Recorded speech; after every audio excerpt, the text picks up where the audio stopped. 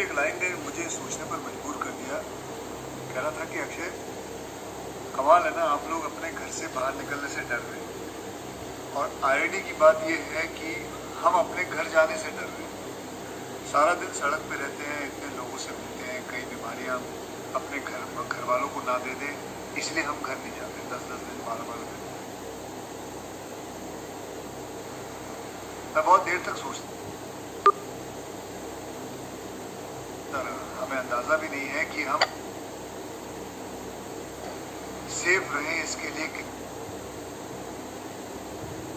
लोग अपनी जान को जोखिम में डाल। कर हमारे लिए दिन रात काम करते हमारी पुलिस फोर्स, नगर निगम के वर्ग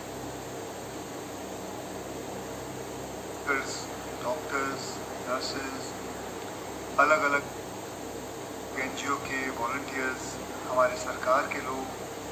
राशन वाले, सब्ज़ी वाले, दूध वाले बिल्डिंग का जो वॉचमैन